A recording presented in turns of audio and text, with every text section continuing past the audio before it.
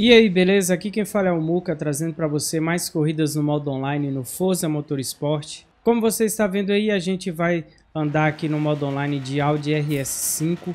Essa sala aqui, antes que alguém pergunte por que, que todos os carros aqui são iguais, é porque nesse lobby onde eu estou aqui, você não pode escolher os carros, você só pode escolher a pista. É uma sala para quem gosta de um nível a mais de dificuldade, tá? Aqui você não usa tunagem, Dependendo da, do nível de colisão que, que é gerado aqui, você toma punição, tá? Se você bate no cara e joga ele para fora da pista ou o cara roda, você toma punição. Se você sair para fora da pista, mesmo que seja mínimo assim, você toma punição. É um lobby beta, tá? É um lobby beta, tem uma galerinha que faz algumas críticas aí, mas é um lobby que está começando é, é, com certeza está tendo aprimoramentos para esse modo online aqui, mas eu acredito que ele não vai ser implementado mais no Forza Motorsport 7. A gente tem outras classes aqui no Forza Motorsport 7, tipo classe A e classe S, com é, configuração de tonagem liberada e com punição para quem sai para fora da pista ou quem bate também. Mas eu prefiro essa sala aqui porque é difícil, como você está vendo aí, segurar carros aqui sem configuração de tunagem. Então eu estou buscando um, um nível de dificuldade a mais no jogo para não ficar aquela coisa é, repetitiva. O Forza Motorsport, o lado bacana é que, que você tem é, muitos é, tipos de modo online. Você tem drift, arrancada, você tem é, jogos você tem esse lobby aqui sem configuração de tunagem e você não escolhe carros. É, os carros têm ciclos de comunidade também. Tem um, um monte de, de opções aqui para você não ficar saturado. Tem ranqueada também, que aqui é chamado de ligas. Então é um jogo muito bom.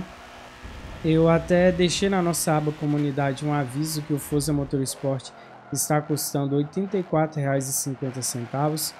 Eu conversei com alguns jogadores, a gente fez algumas análises aí dos jogos que a gente tem no mercado. E um jogo como esse aqui, que você tem um feedback bacana no controle. Você tem uma física legal para quem é um jogador casual. Tem um nível de dificuldade bom, um nível que eh, faz você ter vontade de buscar é, ser um jogador melhor vale muito a pena, 84 reais. Se, for, se você for olhar uh, os outros jogos da mesma categoria que estão no mercado aí, como Grid, Project Cars 3, esses jogos aí, na minha opinião, não chega nem perto, né? A gente tem outros jogos aí que, tipo assim, é, se você for olhar o modo online do Project Cars, por exemplo, tá abandonado. Se você entrar no modo online do Forza Motorsport 4, eu, eu fiz uma live no, no modo online do Forza é, Horizon 1, Forza Horizon 1, e tinha jogadores, jogadores que não querem abandonar o Forza Horizon 1. Eu até entendo por um lado porque é um modo online muito bacana, mas eu vejo que tem muitos jogadores que gostam de ficar em um jogo só, porque ele já é, pegou a manha do jogo, a física, aquela coisa, e às vezes o jogador não quer sair para ele tentar se adaptar a outro jogo, né? Eu conheço muitos jogadores que estão andando muito no, no Forza Horizon, é, se simpatizam com Forza Motorsport, mas não querem é, é, se desviar, vamos dizer assim, para não perder a, habilidade, né? Vamos dizer assim, que a pessoa tem no Forza Horizon. Eu, como criador de conteúdo, eu não me importo com isso, né? Até eu estava conversando ontem com os jogadores profissionais da equipe FRF. Um dos jogadores, o Handicap, que ele faz parte da equipe Williams de Fórmula 1 da vida real, tá? Só que ele tem, é, para quem não sabe, aqui no Forza Motorsport a gente tem a Sauber que patrocina jogadores, a gente tem a equipe Williams e a gente tem a Red Bull que são as que eu conheço que elas patrocinam jogadores aqui no Forza Motorsport. Tem muitos jogadores BR, tá? Wesley é, tem o Handicap, tem o, o, o Zoom, Salber Zoom, que troca de nome toda hora, gente boa pra caramba. Tem muitos conteúdos aqui do, do, do canal, e são esses jogadores aí que eu fico enchendo o saco deles toda hora. Muita, muito conteúdo que a gente tem aqui eu aprendi com eles, tá? Por isso que muita gente acha que eu sou pró, mas é, é muito assim, muito pelo contrário. Eu fico absorvendo é, dicas desses jogadores profissionais e eu fico trazendo aqui é, para o canal e explicando para outros jogadores dicas de baixar tonagem, é, dicas de como jogar sem controle de tração. Eu quero trazer esse testamento de simulação no próximo Forza, tá? Eu fiz um vídeo de introdução de testamento de simulação aí, tá no canal. Eu acho até legal andar com esse testamento de simulação nesses lobbies aqui. Onde os carros é, eles são meio que é, um pouco rígidos né, nas curvas.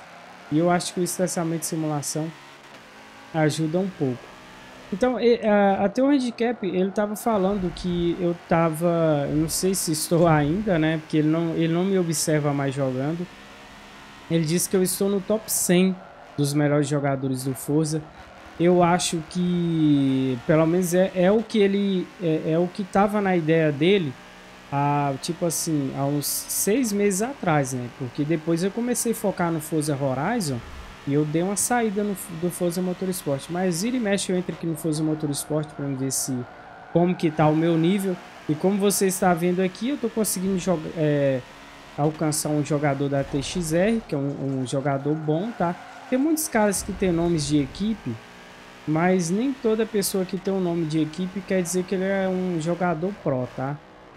Não se iluda com isso. E tem muitos jogadores que nem fazem parte de equipes, o cara sentiu a pressão. Jogadores que nem estão em equipes, que eles são bem prós mesmo, tá? Mas é, muitas vezes é porque a galera não conhece a comunidade. Mas é, só, só ficar correndo no modo online, é, quando você vê uma bandeira de algum brasileiro, é, tenta entrar lá, trocar uma ideia, participa dos, dos nossos eventos, e aí você acaba conhecendo a comunidade você acaba entrando e participando desses eventos aqui. Outra coisa que ele, eu perguntei, né, é, o, o handicap, é, se tinha alguma dica para jogadores que estão iniciando no Forza.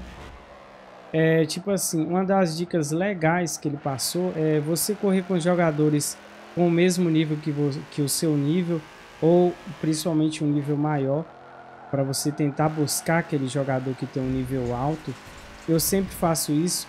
Eu até busquei entrar nesse modo aqui, a convite do Tesla e do FRF, o Snakehead, porque era um, é um lobby muito difícil esse aqui. Hoje você tá vendo, eu tô até conseguindo andar de boa tal, mas no começo, cara, é muito complicado, porque você tem que pegar os pontos certos para você frear, é o peso do carro que joga ele para curva, tá? É por isso que é, é, parece que eu tô meio que lento, mas é assim mesmo. Tem outros carros que são melhores para andar, né? Tem carros da categoria GT que caem aqui, mas geralmente só cai esses carros aqui que são mais difíceis de guiar. Para mim esse modo online aqui é uma escola. E sempre quando eu entro nesse modo, ó, vou tomar uma punição, porque eu trisquei fora da zebra, mas não não vai afetar o final da corrida não, porque o cara que está em segundo lugar ele está com 1.700 de punição também. Então é um lobby que eu recomendo Recomendo você comprar esse jogo aqui, ele tá muito em alta ainda, você não vai se arrepender, tá? É, observando o que a gente tem no mercado aí, é, é a melhor opção, sem dúvida nenhuma, você vai gostar muito, tá? Se você gosta do Forza Horizon, então isso aqui não é para você, tá? Espero que tenha gostado, deixa o like, manda um salve nos comentários. Se você não é inscrito, se inscreva para você aproveitar todas as dicas de Forza Motorsport aqui no canal.